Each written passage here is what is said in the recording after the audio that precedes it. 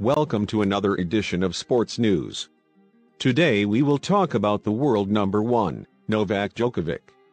With a career full of victories and records, Djokovic is considered one of the greatest tennis players of all time. Let's check together the latest news about the Serbian champion.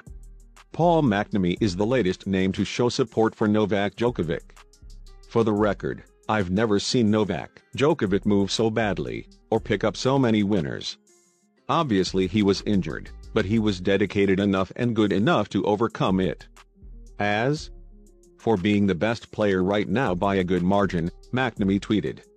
Former American tennis player Jimmy Connors defended Novak Djokovic for his refusal to take the COVID-19 vaccine. The guy stood up for his beliefs, right or wrong, some people will say moving left, will others keep moving right? But he stood up for his beliefs and was willing to stick by them, to the point where he was excluded from the game. This is brutal. I can relate, I've been ostracized, Connors said. You know, the French Open and playing some tournaments and stuff like that. So what the hell, go out there and do your job when that's the only way to get revenge.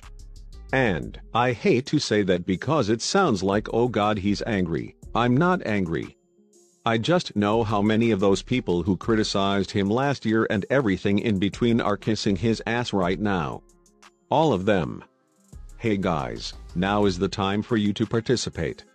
We would like to know what you think about Novak Djokovic and his career.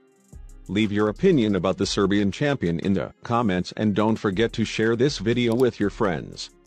Look forward to reading your thoughts. See you in the next edition of Sports News.